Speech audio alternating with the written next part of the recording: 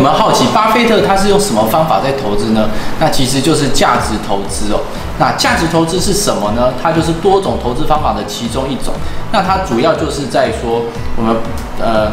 它不单单只是在低买高卖而已，它是觉得说股票会有一个内在价值，那它就会去算这个内在价值。然后呢，当这个内在价值比股票价格还低的时候，他去做一个买入；当比股票价格高的时候，拿去做卖出，是这个样子的。那这样子方法好吗？我来跟你们说，我觉得这个方法其实并不适合散户。诶，那为什么呢？接下去说之前，如果你是第一次看我的频道的话，那我的频道呢，主要是讲投资理财和怎么样让自己达成财富自由。那我自己也在朝这个方向一步一步迈进。那我希望那大家最值得买入的股票，就是你已经持有的股票。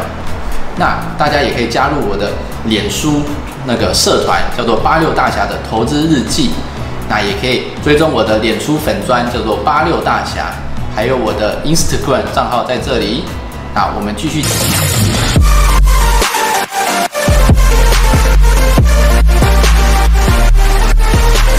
价值投资可以在价格以下的内在价值。的时候再做买入，看起来很安全，那真的是这样子吗？那很多人来私讯我说，觉得价值投资不足不错，看起来没有什么缺点。那巴菲特也曾说过，价值投资前面这个价值这两个字，其实本身也是多余的，因为没有价值的股票，其实也不值得我们去做关心跟。投资啊，价值投资的基本原则就是在找到好公司，然后在合理价买入好公司。但是你仔细研究会发现，好公司的定义大家都不同。什么是好公司？连巴菲特。或者他的查理蒙格的想法都不一样，甚至巴菲特现在也常常说，这些买入这些公司的决策并不是他做的。所以其实连巴菲特他自己播客下内部对于好公司的定义也都不同哦。普遍来说，价值投资确实它的安全性会相较比较不错，但是凡事有一好就一定有一坏，换取安全性的代价是什么呢？那我这边就会提几个价值投资者。会实际上会遇到的几个问题。首先第一个是很难识别真正有价值的企业，企业的内在价值需要一定的专业知识和投资经历。再来就是你需要无比强大的耐心，因为价值投资者并不适合所有的投资人，可以买入一些还没被市场发掘的价值的公司。假如你是这么认为的话，那你可能买入它，而它就这样死了都不动，都不动哦，也不会上涨，也不会下跌，就这样不动。你其实就哎，资金就被困在那边了，你的流通性就不好，你这时候就会说，那是不是是你的眼光有问题，还是大家为什么都没来发现它的价值呢？那你的信念就要非常的坚定，直到所有的投资者发现说它真的有价值，你才会开始上涨。那会不会也是你眼光看错，结果它就下跌了？再来，你会需要长时间的等待。你投资在一家有潜在价值的公司，确实有可能获得很丰厚的利润。但是也有可能是死路一条，因为你可能这辈子都等不到这间公司转亏为盈而实现获利，那你最后就会被迫亏损而卖出你手上的股票。然后投资的分散性差，你可能会买到目前表现不太好的行业，并希望他们有在未来会做一个好转。但是如果你都是表投资在那些表现不好的行业的话，而期待他们有好那个他们价值未来被别人看到，那其实你。的资金分散性就会不好，你就专注在只投资在几档股票里面。那当你分散性不好，你知道其实你投资的风险就会大大的增加。还有就是价值投资很好玩的，就是这这套方法被提出来的时候是在一九五几年，那个时候资讯流通相较是一个比较缓慢的过程。那时候你看一个财报，你可能等公司发财报，诶，你要去订阅它，到你手上，他们已经做好书，可能已经要一个礼拜。这都在到你手上，已经又要过了可能一个月的时间，而你再去翻到他的公司的时候，都已经过了快一个月、两个月，你再去买入股票，哎，那时候买完股票的人其实算还算现在像是比较少数的。然后呢，流通性相较比较差，所以你会有很多的资资讯的落差。那其实价值投资本身就是靠这资讯的落差来买股票。但是你想，现在现在是二十一世纪，靠网络，你今天美国发财报，哎，今天台湾就看得到了。所以呢，完全没有资讯落差的这样的情况下，你就会造成。价值投资，嗯，它的利润空间就会变少。然后再来就是你多头时常常满手现金，像巴菲特他这很多多头，他这十年的大多头，他报酬并没有办法打败美国的大盘，那也常常手上持有很多的现金，因为他找不到价值够低的标的，所以造成说股票在这涨的时候，你却没有进入股市里面，那其实你就会损失了。时间价值，所以常常会拉低报酬。在向下趋势中，你会去买入股票。然后呢，好的股票呢，通常都很贵，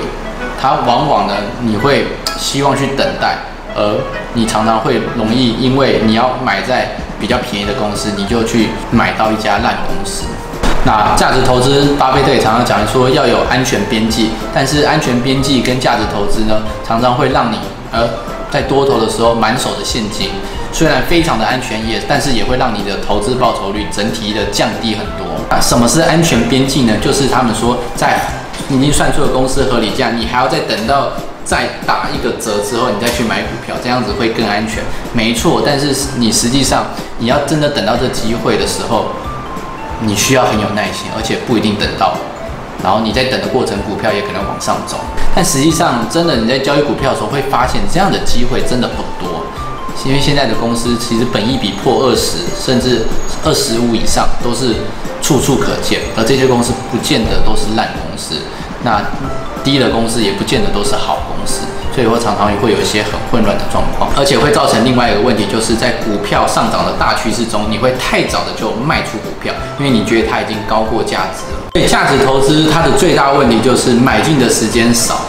然后多头的时候又满手现金，所以你会。损失了你在股市里面的时间，然后就拉低了整体的报酬率。而且其实往往反而越安全的公司，它的本益比并不会下降到一个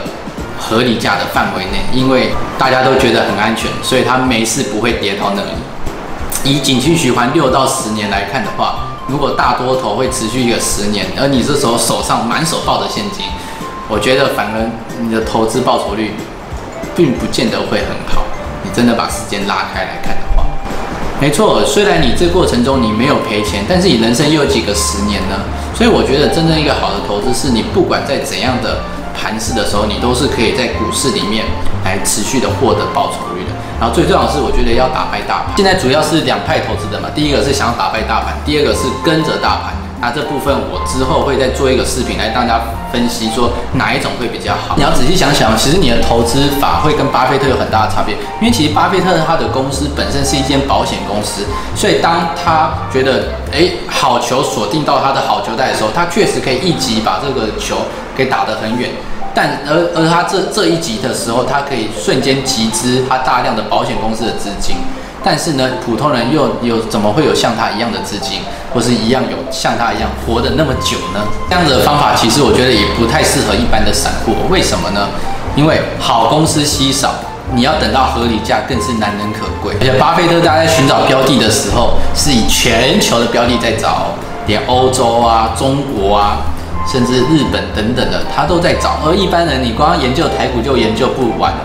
呃，甚至或者是我在碰美股，你就研究不完了。其实你没有过多的精力去分析全球被低估的公司，不好的公司很容易看得出来嘛。但是你如果将差的公司误判成好公司而一直投入的话，你就会像是 HTC 这样的状况，或者是 GoPro 这样的状况来看看，或者是波音，它从历史最高价跌到现在已经将近有八成的跌幅了。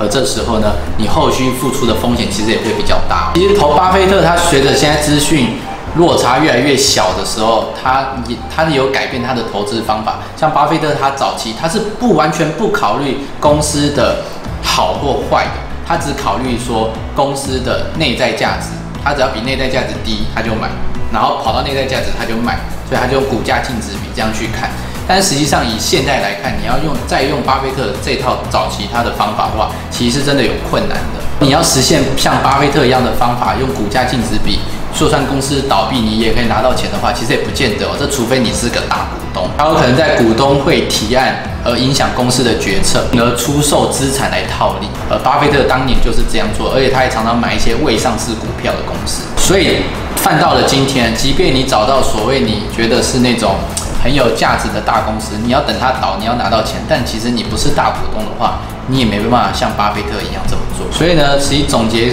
刚刚我前面讲的等等的缺点，或者说是对价值投资人讲，他觉得这些其实并不算是缺点，他觉得他买在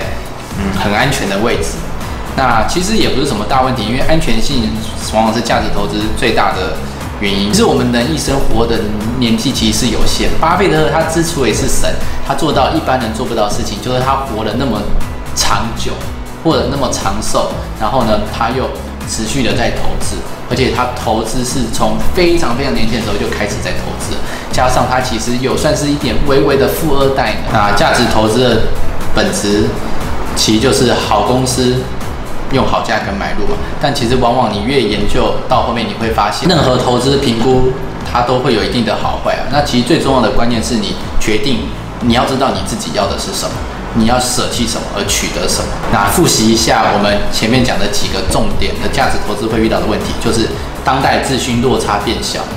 然后你其实你的资金小的话，你没办法对公司有主动的控制权。那你过于追求的安全的话，其实你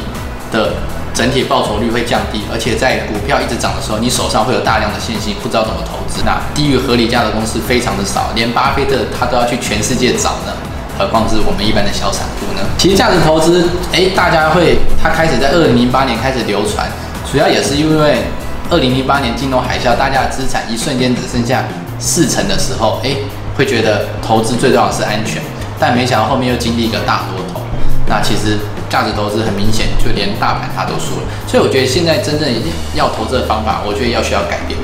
关注我更多，我会教你更多如何更好的投资方法。那我是八六大侠，下次见喽，拜拜。